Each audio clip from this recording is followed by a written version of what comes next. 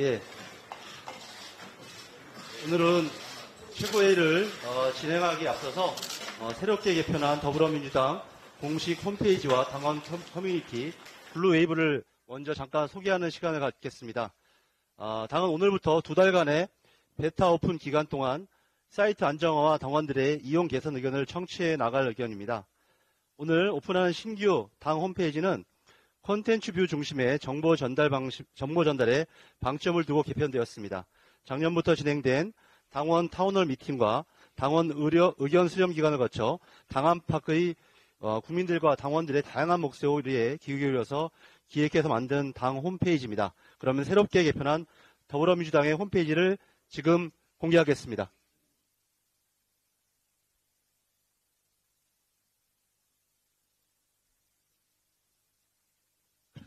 먼저 메인 화면입니다.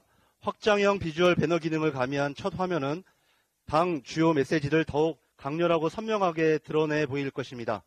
논평, 브리핑, 보도자료 등의 당의 새- 새로운 소식은 메인 배너 하단에 위치시켜서 더욱 가깝고 빠르게 당의 입장과 주장을 아, 보실 수 있도록 구성해 놓았습니다. 기존에 없던 새로운 메뉴를 소개해 드리겠습니다. 먼저 법안 발의 현황입니다. 앞으로 우리 더불어민주당의 의원님들이 수고해 주신 법안 발의 현황을 실시간으로 확인할 수 있도록 구성해 놓았습니다. 또한 요즘 우리 거리에서 가장 많이 볼 수 있는 홍보 현수막을 길거리에서보다 더 먼저 신속하게 확인할 수 있도록 배치해 놓았습니다. 그리고 그간 유튜브를 통해서만 확인할 수 있었던 우리 더불어민주당 데일리 민주 쇼츠를 이제는 홈페이지에서도 바로 보실 수 있도록 배치했습니다.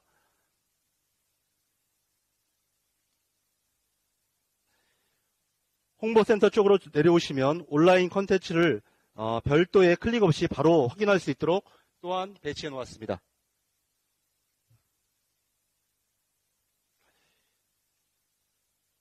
자, 지금까지 소개해 드린 것과 같이 새롭게 개편된 홈페이지는 접속 후 어, 스크롤만으로도 민주당이 어떤 일을 하고 있는지 한눈에 보실 수 있도록 컨텐츠 view 중심으로 제작되는 것을, 되었다는 것을 확인하실 수 있을 것입니다. 당은 홈페이지 베타 오픈 기간 동안 더욱 안정감 있고 편리한 이용이 가능하도록 최선을 다해 나가도록 하겠습니다. 당원 여러분의 많은 관심과 이용 부탁드리겠습니다. 이상 홈페이지 시연을 마치고 이제는 당원 커뮤니티의 시연으로 넘어가도록 하겠습니다. 당원 커뮤니티 블루웨이브입니다. 블루웨이브는 정당에서 최초로 시도되는 찐 커뮤니티, 어, 찐 커뮤니티입니다.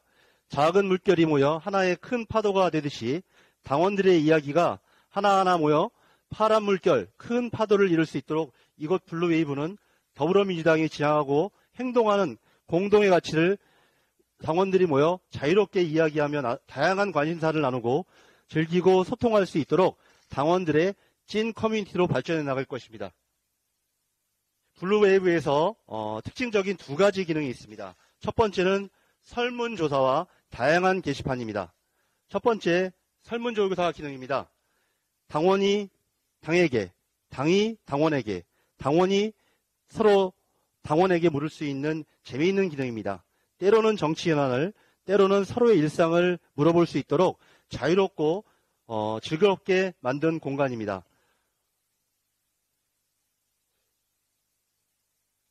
두 번째는 다양한 소통이 가능한 게시판입니다.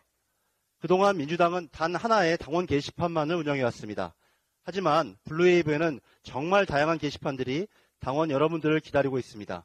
정치 현안뿐만 아니라 여러 가지 일상사와 관심사를 이야기 나눌 수 있는 일상의 life, 이슈, 토픽 등 여러 게시판을 생성해서 생태계를 만들어 가도록 하겠습니다.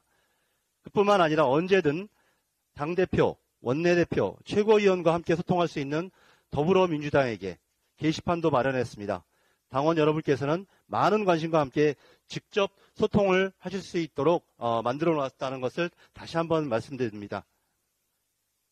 저희들은 블루웨이브를 기억하면서 이제는 단순한 정치 커뮤니티를 넘어 세상 사는 이야기, 내가 관심 있는 주제들로 함께 이야기하고 소통할 수 있는 찐 커뮤니티를 만들자는 다짐을 했습니다.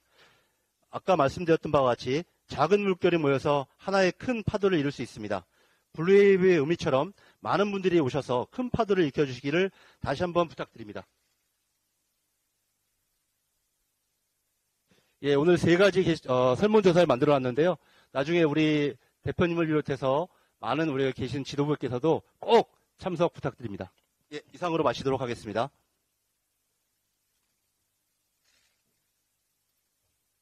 저기 아직 그냥 홈페이지 앱 기능은 아직 없는 거죠? 예, 아직 곧또 곧 제작해서 앱 기능을 별도로 만들 예정입니다. 네. 그러면 이재명 당대표의 속개 선언으로 더불어민주당 제130, 131차 최고회의, 회의원, 최고위원회 회의를 속개하겠습니다. 네, 회의를 속개하겠습니다. 먼저 이재명 당대표의 모두 발언이 있겠습니다.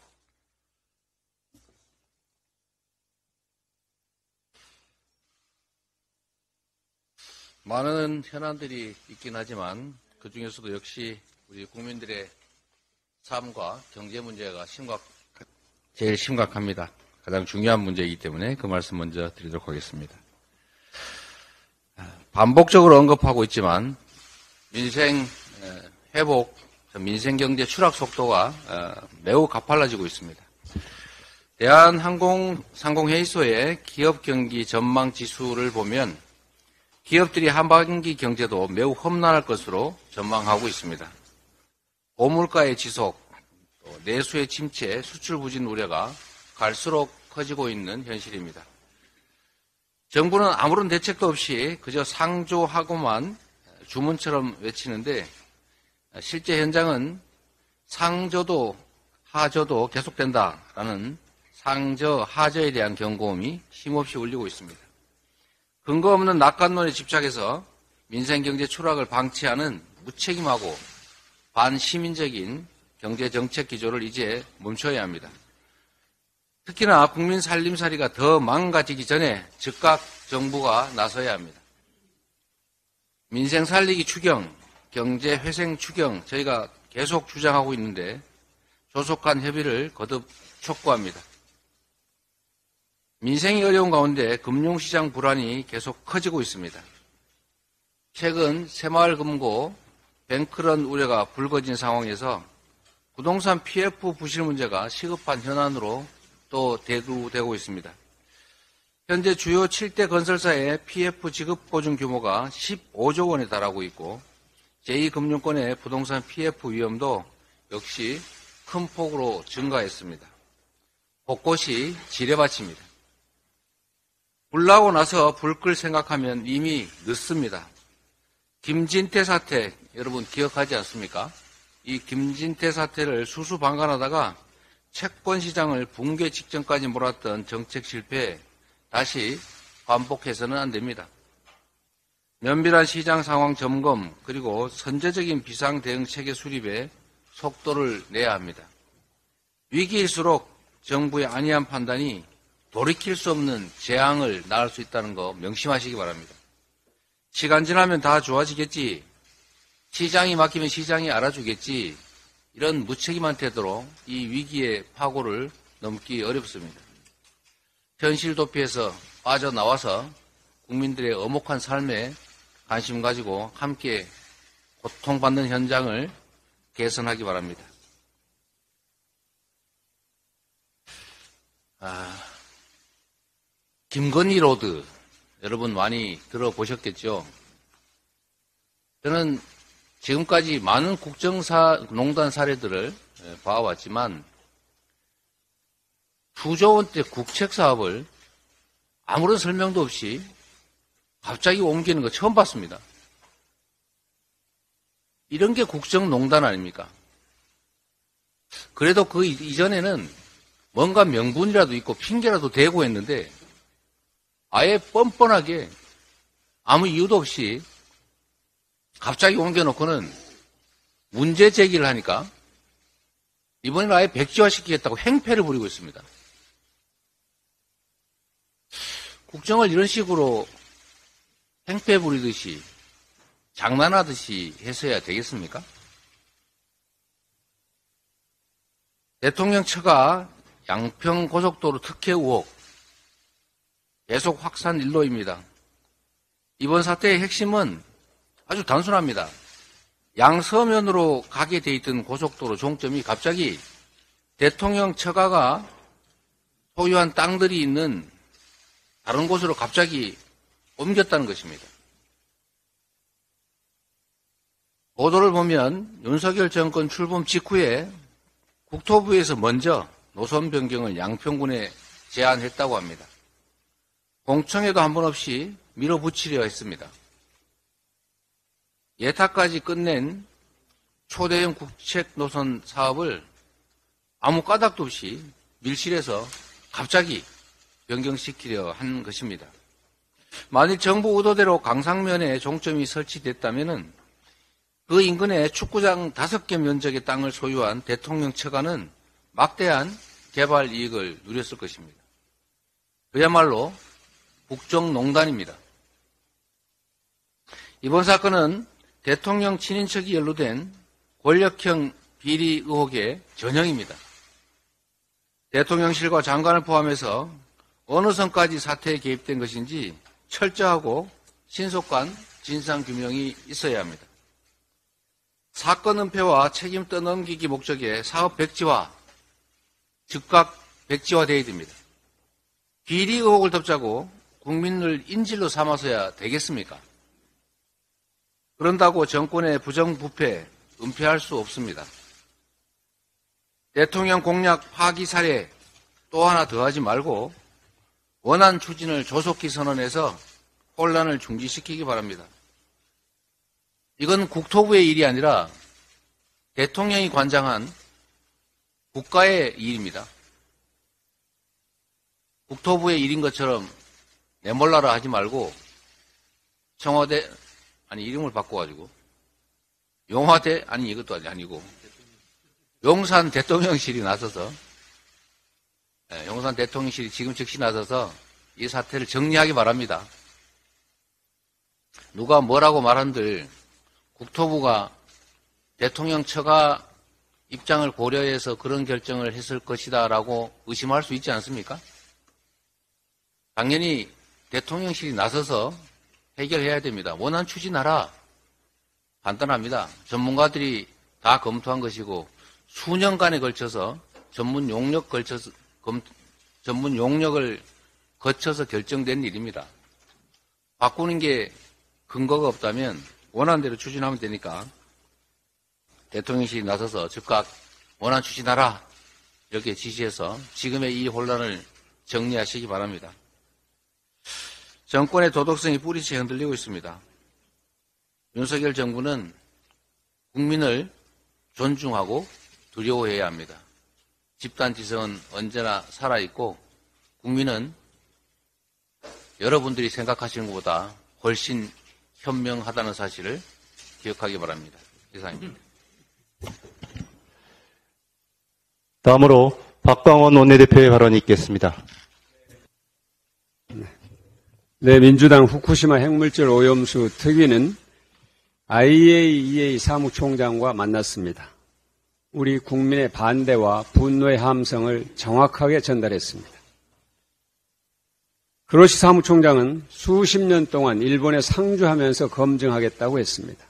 그러나 이 말은 우리 국민들을 설득하지도 못했고 안심시키지도 못했습니다. 오히려 수십 년 동안 문제가 있다는 말로 들렸습니다. 국내 언론과 인터뷰에서 그로시 사무총장은 국제사회가 우려해야 하는 것은 후쿠시마가 아니라 북핵이다. 이런 정치적 발언을 서슴지 않았습니다.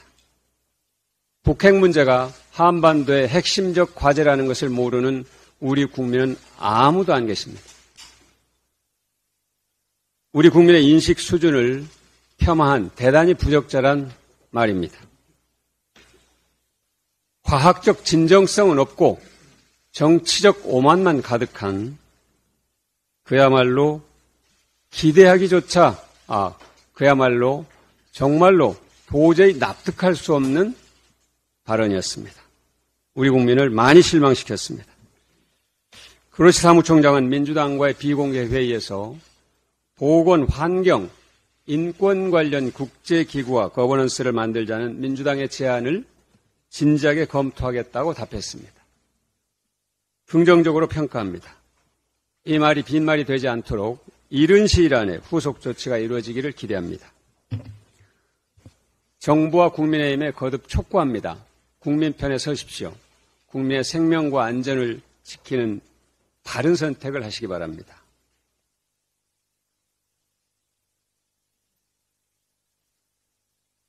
해양 투기는 30년 이상 지속됩니다. 정권은 유한합니다. 국민의 생명과 안전의 문제를 졸속적으로 선택해서는 안 됩니다. 국가의 모든 과제가 다 그렇지만 생명과 안전의 문제는 더욱 신중해야 합니다. 한일 정상회담이 좋은 기회가 될 수 있습니다. 민주당은 최소한 6달 이상 해양 투기를 보류하고 그 시간에 한일 상설 협의체를 설치해서 환경 영향 평가를 실시하고 국제해양법 재판소에 잠정 조치를 청구하는 것을 비롯해서 7개 방안을 제시했습니다. 실효적인 대안이 될 것입니다. 합의를 이끌어낸다면 민주당은 전폭적으로 정부를 지원하고 협력하겠습니다. 서울 양평 고속도로 사업 백지와 소동은 우리 국민을 매우 어리둥절하게 했습니다. 원희룡 장관 왜 저러지 하는 사이에 본질이 뒤로 숨었습니다. 15년을 기다린 양평 군민과 하남 시민, 하남 시민, 그리고 그 길을 이용한 많은 국민들은 문제가 무엇인지 정확하게 알고 있습니다. 아무리 백지와 소동을 벌여도 본질은 대통령 처가 특혜 의혹이라는 사실을 국민들은 다 알고 있습니다. 국토부는 서울 양평 고속도로 원안 추진을 선언하기 바랍니다. 더 이상의 사회적 비용을 우리가 치를 이유가 없습니다. 권력형 비리 의혹에 대한 철저한 진상 규명이 필요합니다. 민주당은 국민과 함께 사실관계를 확인해 나가겠습니다. 이상입니다. 이어서 정청래 최고위원의 발언이 있겠습니다. 대통령 처갓당 고속도로 종점 변경 사건의 몇 가지 의문점. 원희룡 국토부 장관은 민주당의 날파리 가짜뉴스 선동 운운하면서 서울 양평간 고속도로 건설을 백지화하겠다고 선언했습니다.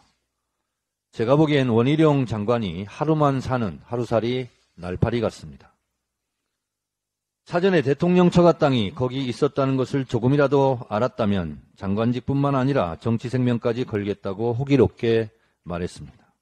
곧 장관직 정치 생명 걸 날이 있을 겁니다. 윤석열 대통령의 대선 공약을 주무부처 장관이 대통령과 논의 없이 독자적으로 결정했다는데 믿어지지 않습니다. 혹시 강상면 땅 주인의 지시사항은 아니었습니까?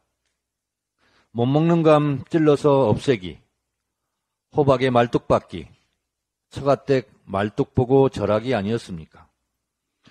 대통령 공약을 주무장관이 감정적으로 사전 논의 없이 돌출적으로 백지화하겠다고 했는데 대통령실은 국토부에서 알아서 할 문제라고 뒷짐을 짓고 있습니다. 이상한 일입니다. 대통령이 핫바지입니까? 대통령 처갓당과 관련된 문제라서 입장이 곤란한 건 알겠는데 후쿠시마 오염수 문제도 그렇고 서울 양평 고속도로 문제도 그렇고 대통령실의 입을 왜 자물쇠로 채웠는지 정말 궁금합니다. 유행가처럼 어서 말을 해, 어서 말을 해, 어서 말을 해보라고. 고속도로 종점 변경하니 문제도 있고 논란으로 시끄러우면 대통령실이 원한대로 추진하라고 한마디 하면 감정적으로 대처한 원희룡 장관에 대해 추위 경고를 주거나 경질을 하면 될 일입니다. 이렇게 하면 뭔 문제라도 또 생깁니까? 상식적으로 봐도 예비 타당성 조사까지 마친 양서면 원안을 추진하면 깨끗하게 해소될 문제입니다. 구차하게 민주당이 사과하면 백지화 재검토하겠다고 흘리는 것은 누가 봐도 비겁합니다. 적반하장입니다. 현 양평 군수는 민주당사에 와서 항의 시위를 했습니다. 이게 정상입니까? 국민의힘 당사나 국토부 장관실 앞에 가서 항의를 할 일 아니었습니까? 노량진 수산시장 수조 속 바닷물을 떠마시는 것을 두고 그게 공천수냐? 는 조롱 섞인 비난이 있었듯이 민주당사에 가서 항의한 것을 두고 공천 시위냐는 비난을 피할 길이 없을 겁니다.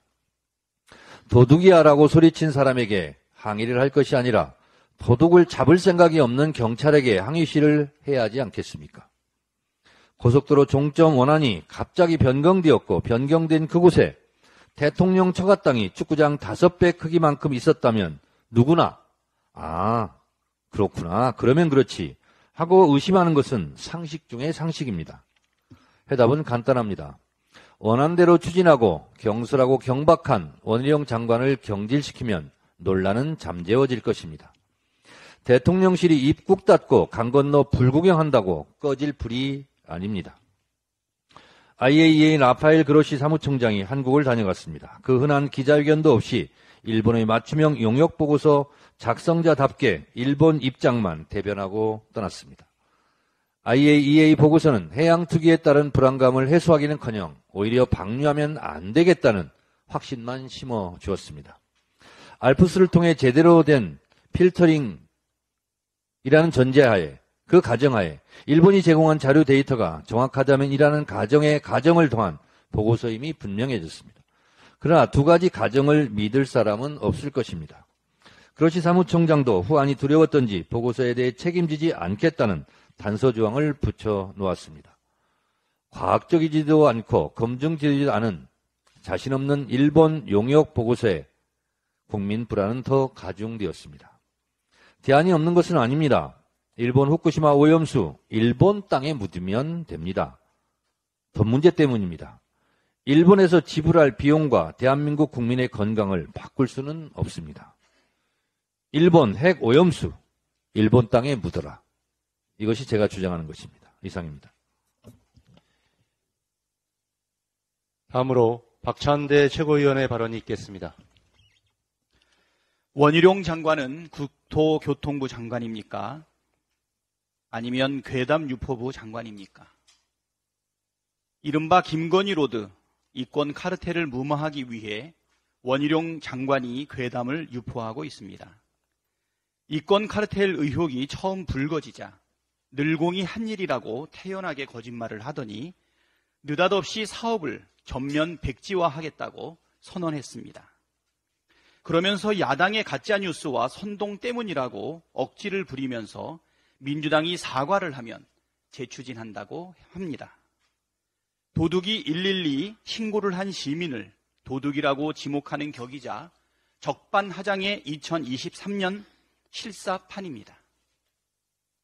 원희룡 장관은 김건희 여사의 땅이 변경한 종점 인근에 있었다는 것을 이 사건이 불거지기 전에 조금이라도 인지한 게 있다면 장관직을 걸 뿐 아니라 정치 생명을 걸겠다고 했습니다.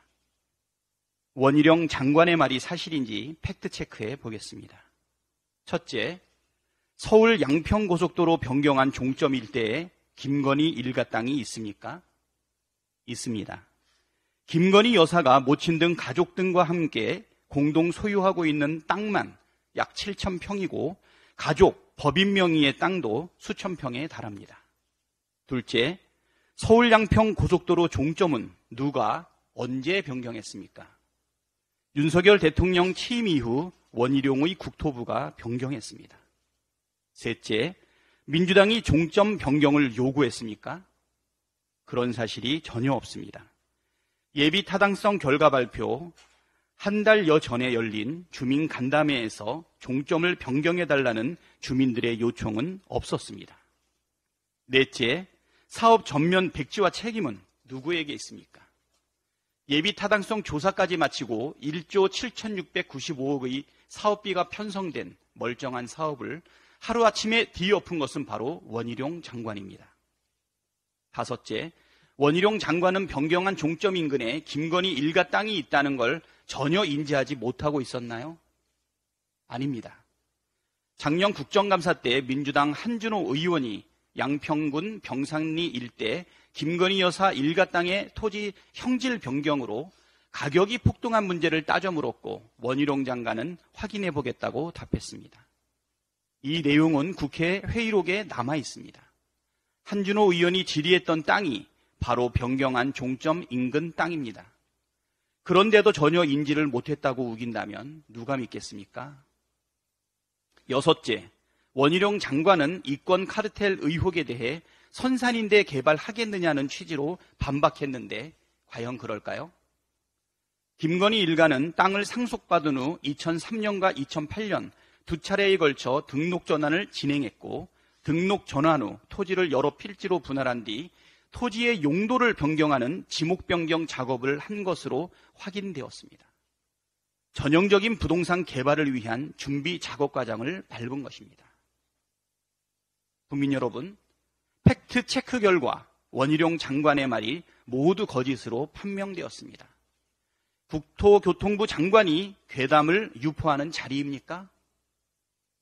국민을 상대로 뻔뻔스럽게 거짓말을 하는 사람은 공직자 자격이 없습니다. 원희룡 장관은 괴담을 유포한 것에 대해 국민에게 사과하고 스스로 밝힌 것처럼 즉시 장관직을 사퇴하고 정치도 그만두십시오. 아울러 국힘당 소속 전진선 양평 군수에게도 경고합니다. 양평군이 주말 동안 예비 타당성 조사를 통과한 원안보다 종점을 변경된 노선이 경제성 측면에서 낮다는 자료를 주민들에게 무차별 배포했습니다. 심지어 전진선 양평군수는 엉뚱하게도 민주 당사 앞에서 항의 집회까지 열었습니다. 원안보다 변경안이 경제성 측면에서 낮다는 것이나 민주당 때문에 사업이 엎어졌다는 주장 모두 명백한 괴담입니다. 원안으로 이익을 보는 것은 서울 시민과 양평 군민이고 변경안으로 특혜를 입는 것은 김건희 일가이고 변경안을 추직한 것, 추진한 것은 국토부이고 사업을 뒤엎은 것은 국토부 장관입니다. 양평 군수로서 양평 군민의 수건 사업을 뒤엎은 국토부 장관에게 항의하고 원안 추진을 주장해도 모자랄 판에 거짓말과 괴담으로 주민을 선동하며 혹세무민해서야 되겠습니까? 계속 괴담을 유포하면 분명한 책임을 져야 할 것입니다. 일본 언론에서도 국제 원자력 기구의 중립성을 문제 삼는 보도가 나오고 있습니다. 도쿄 신문은 8일 일본은 오래전부터 국제 원자력 기구에 거액의 분담금과 거출금을 내고 있다. 오염수 방류가 안전하다는 보증서는 중립적 입장에서 나왔다고 볼 수 있는지 의구심이 든다고 보도했습니다. 국제 원자력 기구의 보고서가 가진 치명적인 문제점은 아무도 책임지지 않는다는 것입니다. 안전하다고 말하면서 책임지지 못하겠다는 것이야말로 괴담입니다. 국제 원자력 기구가 괴담을 유포하는 곳이 되어선 안 됩니다. 그로시 국제 원자력 기구 사무총장은 지금이라도 책임지지 못할 보고서를 철회하기를 바랍니다. 북대서양 조약기구 정상회의 기간 한일 정상회담이 열릴 것으로 알려졌습니다. 윤석열 대통령은 기시다 일본 총리에게 한국 국민의 80%가 원전 방사능 오염수 해양 투기를 반대한다는 사실을 명확하게 전달하고 해양 투기 중단을 촉구하기 바랍니다. 윤석열 대통령이 일본의 방사능 오염수 해양 투기를 두둔한다면 국민 안전을 책임질 의사가 전혀 없다는 사실을 고백하는 것입니다. 국민 안전을 포기한 정권은 국민으로부터 버림받을 것입니다. 이상입니다. 다음으로 서영교 최고위원의 발언이 있겠습니다. 조금 전 박찬대 최고위원이 이야기한 것처럼 일본 도쿄 신문도 문제 제기하고 있습니다. IAEA 관련해서 일본 도쿄 신문도 여기에 대해서 문제 제기를 하고 있고 일본 시민 단체들이 후쿠시마 총궐기 집회를 예정하고 있습니다.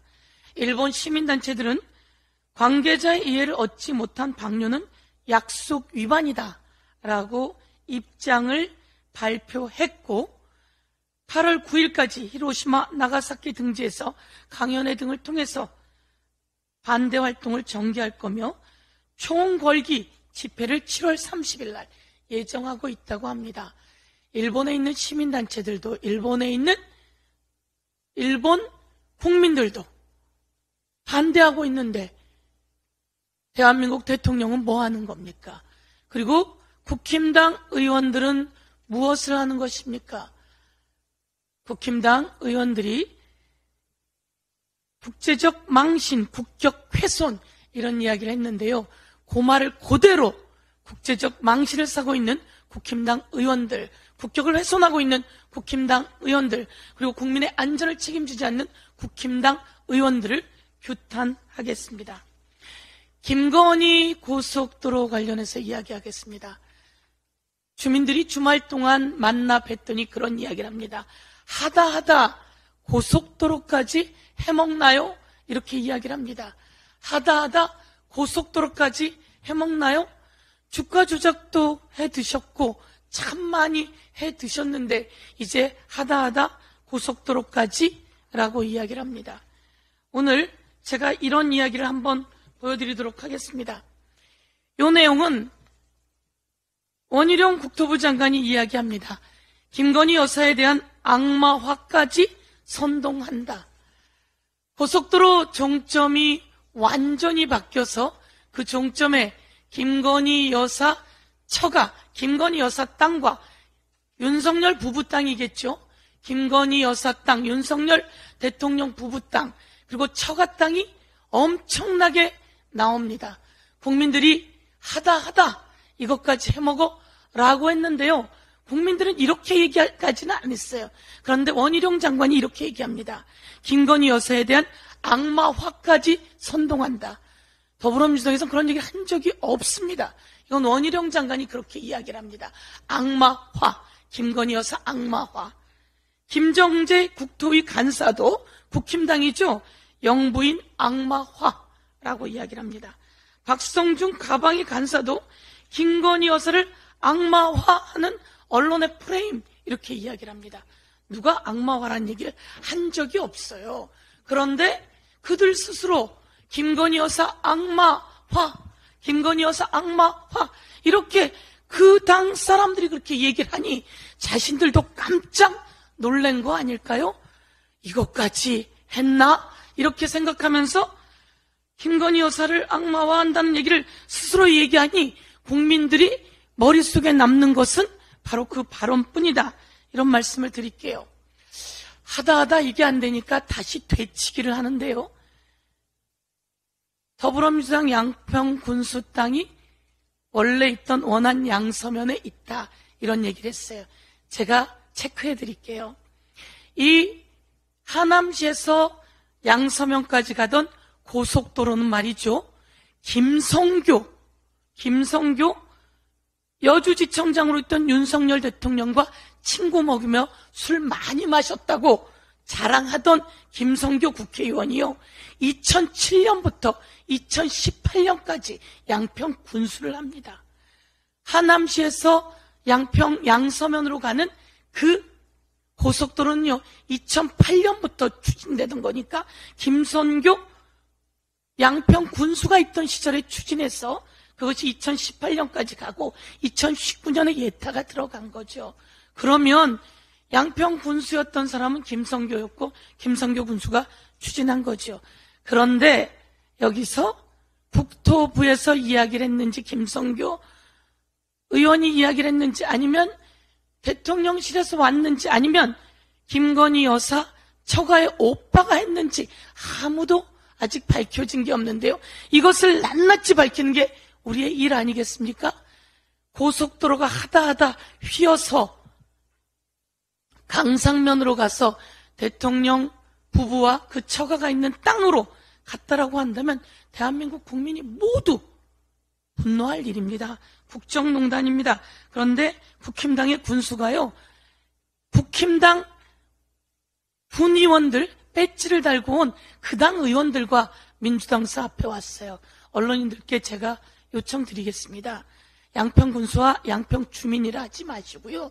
양평 군수와 양평군 국힘당 의원들과 그 지지자들이 덮어 씌우기 위해서 용산 대통령실로 가야 되는데 잘못 온 거죠. 그래서 오늘 이야기합니다. 김건희 여사가 답변하세요. 그리고 윤석열 대통령 답변하세요.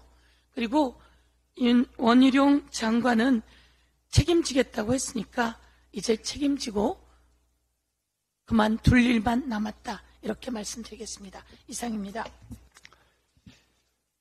다음으로 장경태 최고위원의 발언이 있겠습니다. 대한민국 정부가 국제 기준에 부합한다며 일본의 핵폐수 방류에 힘을 실어 주었습니다. 두 차례 추가 채취한 시료 분석 결과가 나오지도 않은 상태에서 일본 일정에 쫓겨 졸속 평가를 한 것에 이어 대한민국 정부도 졸속 발표를 한 것입니다. 최근 국민적 주목을 받은 순살 자의 사건 알고 계십니까? 살고 싶은 아파트에서 부실 시공으로 회자되고 있는 사건입니다. 사건 발생 전에 전문가 100명에게 자이 아파트가 안전합니까? 라고 묻는다면 단 한 명이라도 안전하지 않다고 대답하는 사람이 있겠습니까? 핵폐수 방류도 마찬가지입니다. 아무리 객관적 안전을 강조한 계획이 있다고 한들 단 한 번의 실수나 사고가 일어난다면 한국은 물론 전 세계의 재앙이 될 수도 있습니다. 후쿠시마 원전이 과학적으로 안전하지 않아서 사고가 났습니까? 심지어 왜 우리 정부는 발생할 수 있는 결과에 어떠한 책임도 지지 않는다는 IAEA 보고서에 국민의 목숨을 겁니까? 그로시 IAEA 사무총장의 행태도 이해할 수 없습니다. 일본에서 모두 네 차례에 걸쳐 기자회견을 개최했던 그로시 사무총장은 우리나라에선 단 한 차례도 공개 기자회견을 열지 않았습니다.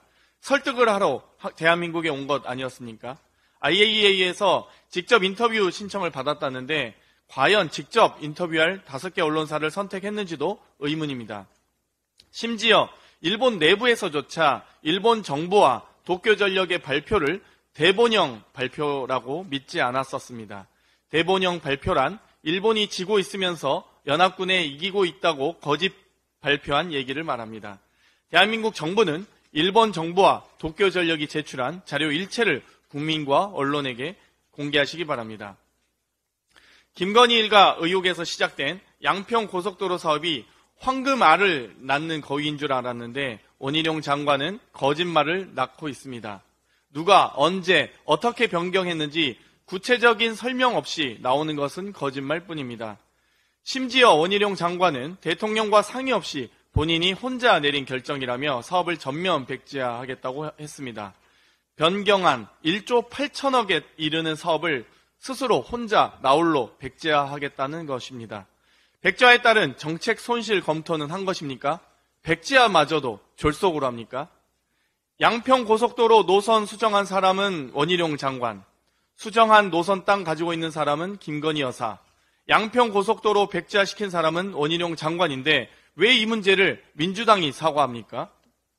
황당하지만 받아들이겠습니다. 함께 국정조사 하시겠습니까? 어제 대통령실은 양평 고속도로 사업 백지화 논란에 대해 국토부가 알아서 할 문제라고 밝혔습니다. 대통령 공약사항이 백지화됐는데 이렇게 한심하게 꼬리 자르게 하는 것도 어이가 없습니다.